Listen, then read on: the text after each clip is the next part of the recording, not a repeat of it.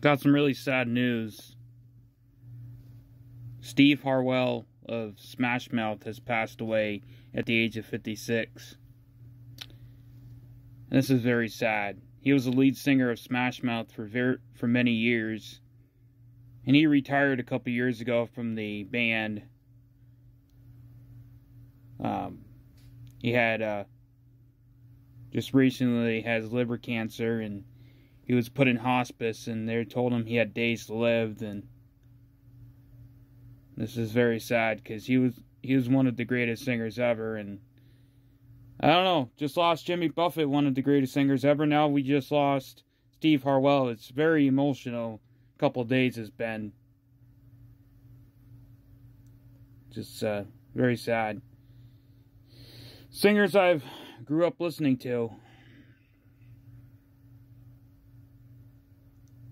Rest in peace, Steve Harwell.